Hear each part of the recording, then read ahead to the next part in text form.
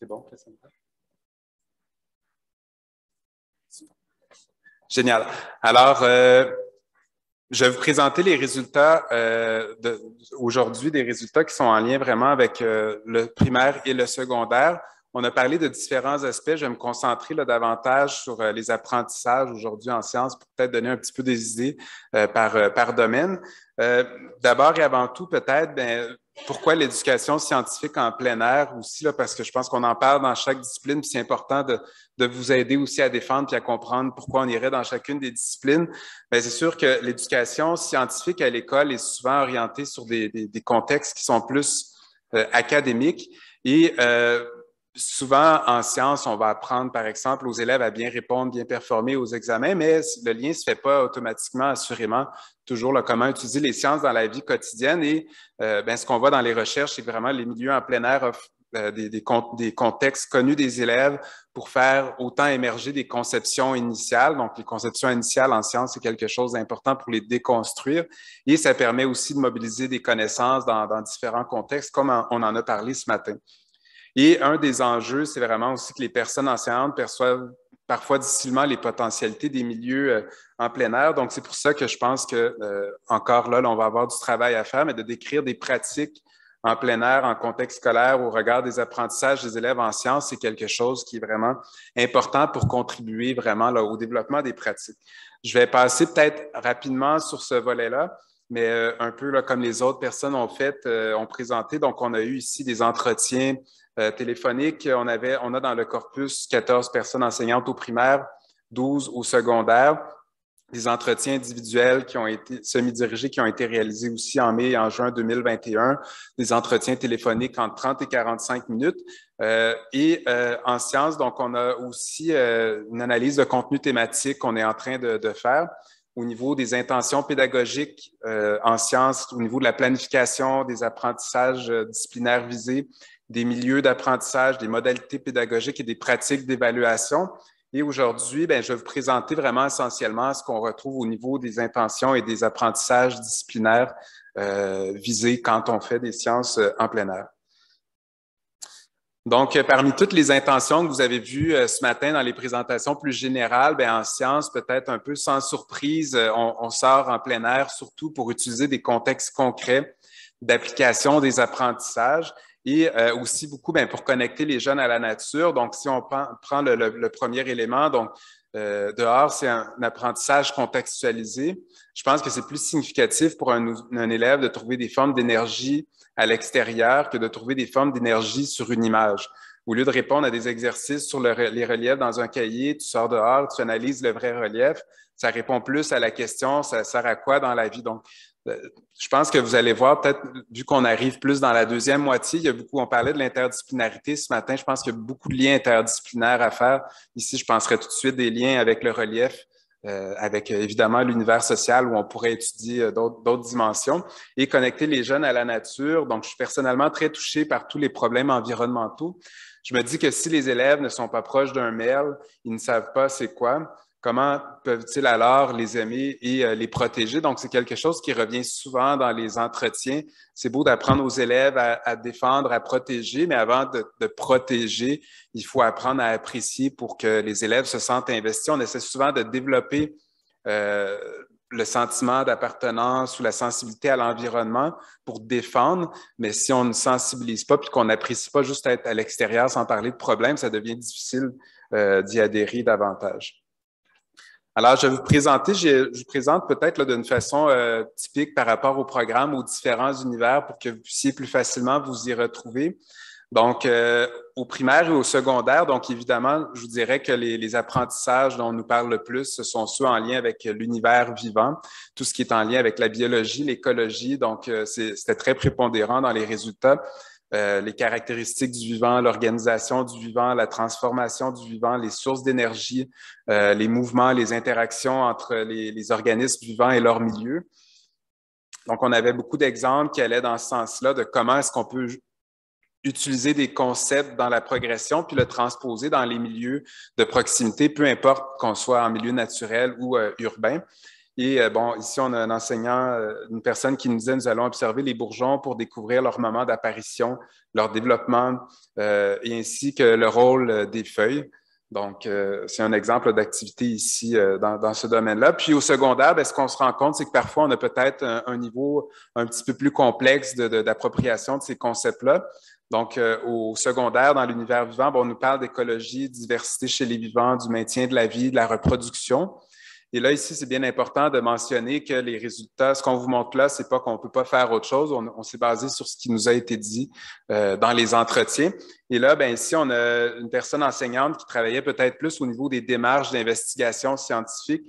Euh, qui disait, ben, nous comptons les pissenlits sur une parcelle et nous appliquons une formule pour connaître la population sur le terrain de l'école. Donc là, on se rapproche vraiment d'un travail peut-être plus euh, comme de terrain, comme des biologistes euh, vont le faire, comment est-ce qu'on pourrait faire des quadras et euh, aller estimer une population. Évidemment, quand on, calcule des populations, on ne va pas tout compter, tout, compter tous les pissenlits. Donc, et j'en profite aussi, Laurel, pour, pour dire que en tout cas, en autre piste d'interdisciplinarité, on pourrait très bien mixer euh, un cours de sciences de biodiversité avec les élèves avant d'aller faire du land art pour voir qu'est-ce qu'on pourrait prendre ou pas.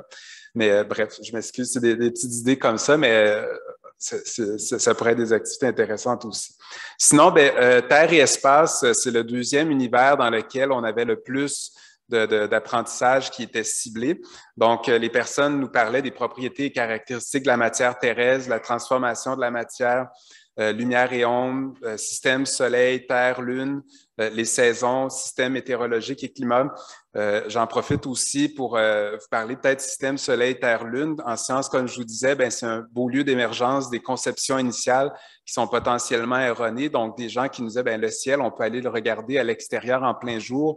Puis parfois, on a la conception que la Lune, on la voit uniquement pendant la nuit, mais je ne sais pas si vous avez remarqué, mais en fin de semaine, euh, la Lune, on la voyait euh, en fin d'après-midi. Donc, la Lune, selon elle est où, selon le cycle, selon la forme, on peut déduire on en est où. Donc, même le jour, on peut faire des, activités euh, de ce genre-là.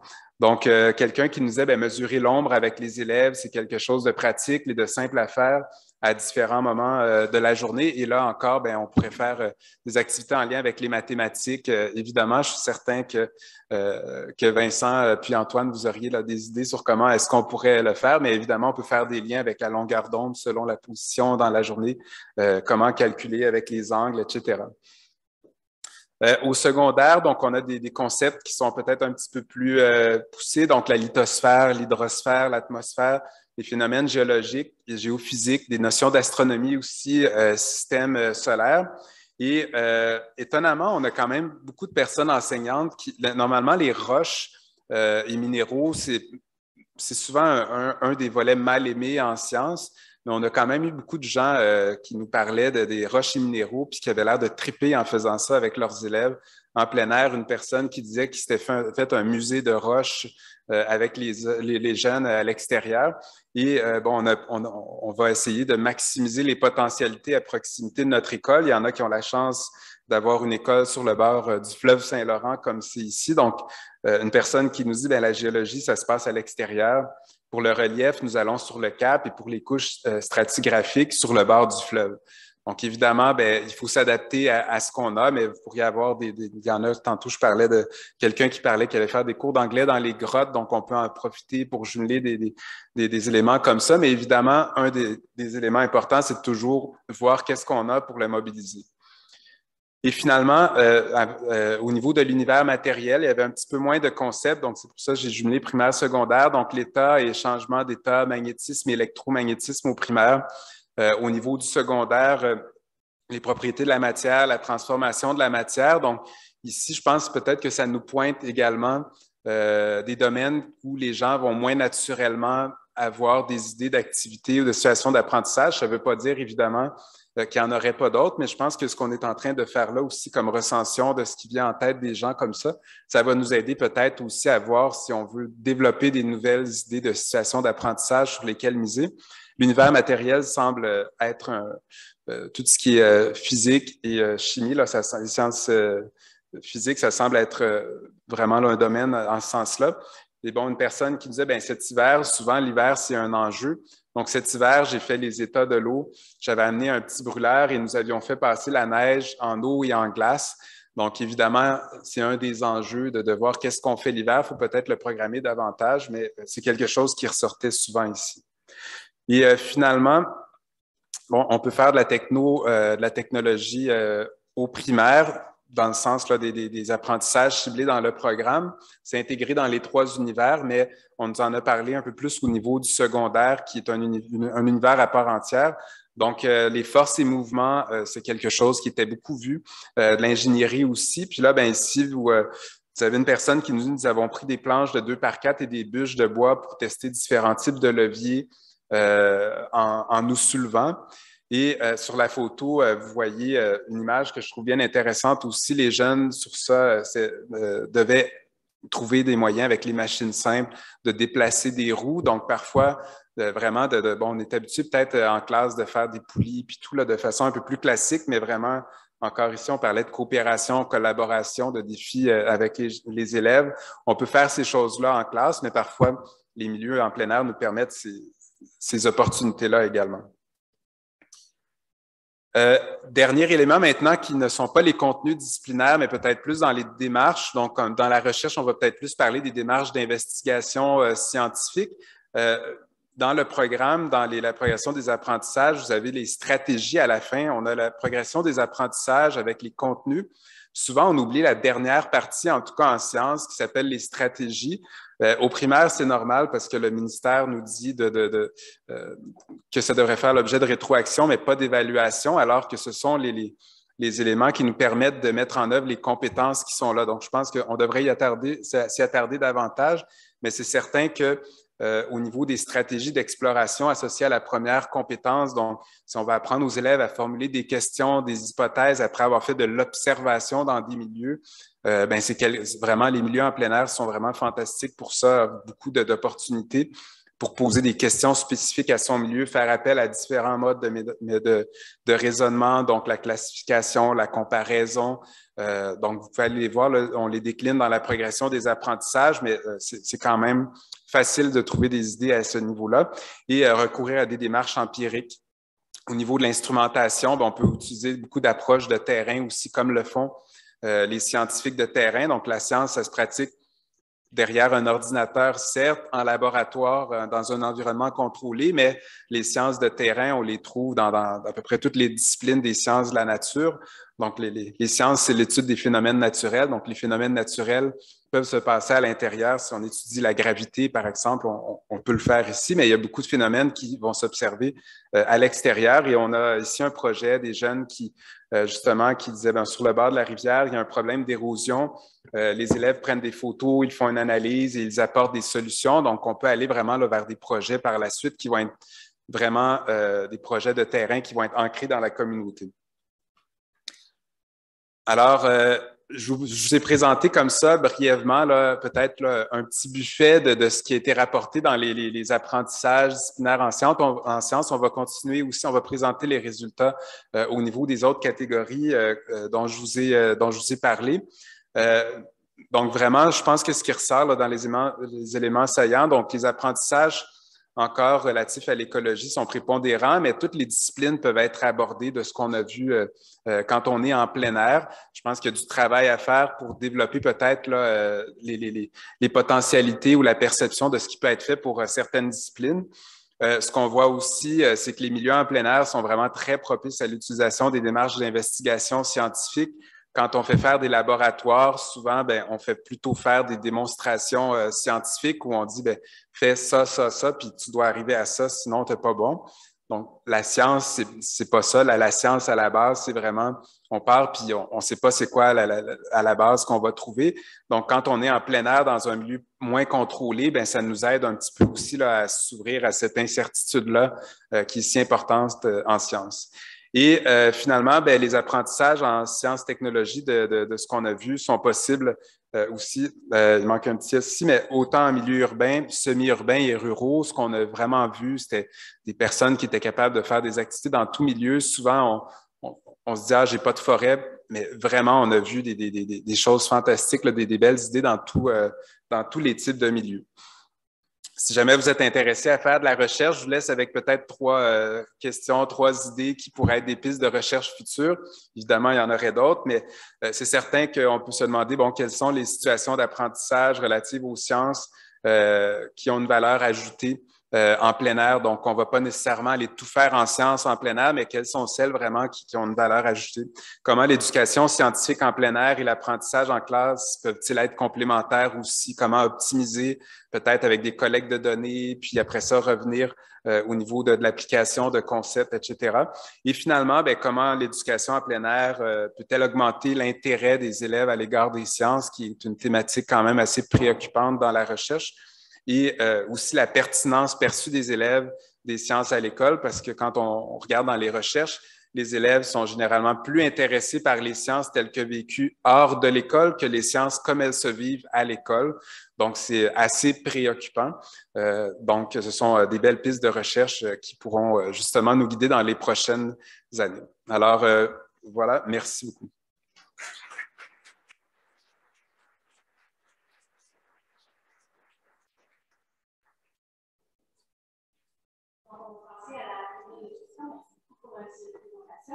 Donc, vous avez été amené à poser des questions à l'avant.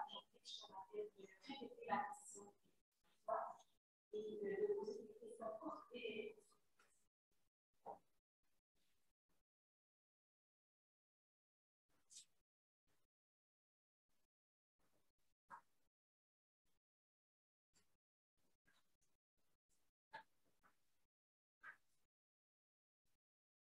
J'avais une question toujours euh, par rapport aux c'est aussi euh, par rapport à la recherche. Est-ce qu'il y a un projet, j'ai compris que ce projet était sur deux ans, des sorties.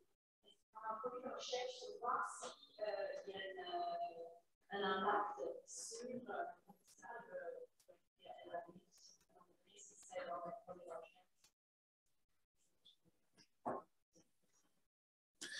Donc, la question était, euh, est-ce qu'on prévoit évaluer les impacts de, ce qui se fait en plein air?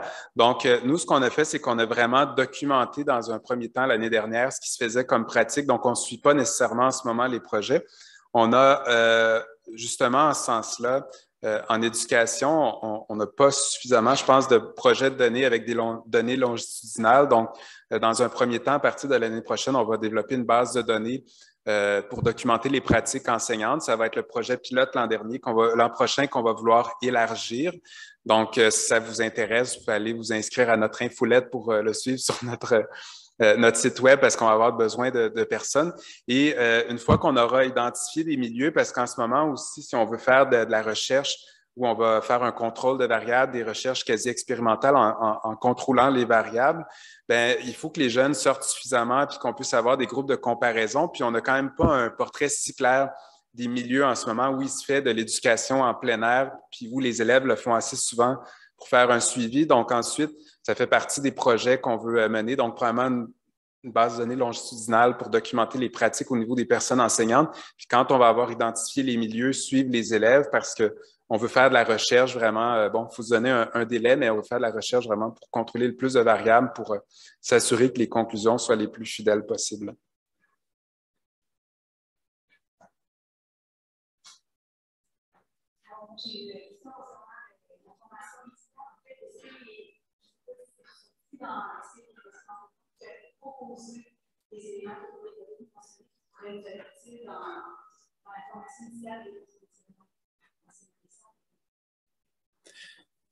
C'est certain qu'en en, ce moment, euh, oui, puis je vois mon collègue Vincent euh, Grenon qui est directeur du bac.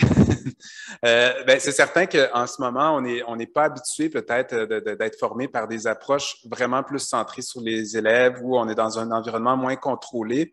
Donc, ce qu'on remarque, puis là, c'est pas juste pour les sciences, là, ce que je mentionne, ce qu'on remarque, c'est que on a souvent, nous, comme élèves, été habitués à, être dans une approche plus transmissive, euh, euh centrée sur l'enseignement. Puis souvent, ben, à l'université, ben, on va, on va pas nécessairement avoir été en contact avec cette approche-là. Euh, donc, c'est certain que ça devient un défi important. Donc, donc au niveau de la formation initiale, plus il y a des gens qui contribuent à cette formation-là, même si des fois c'est une petite activité comme ça dans un cours, progressivement, je pense qu'on va se constituer comme, comme communauté un réseau d'excellence, de, peut-être de pratique ou d'expertise aussi. Mais je pense qu'on est dans ces étapes-là en ce moment au Québec de développement euh, de l'expertise. C'est certain que la formation dans les milieux, il y a des personnes conseillères pédagogiques aujourd'hui, il y a des, des, centres de services scolaires où il y a des personnes dédiées, il y a des écoles où il y a des personnes euh, enseignantes aussi qui sont désignées. Donc, au Québec, ce qui est beau, c'est qu'on n'a pas imposé l'éducation en plein air d'en haut. C'est partie de la base de, de, de, vous, de nous. Et en ce moment, ben, c'est en train, je pense, de tranquillement s'élargir, mais en même temps, on est en train de développer cette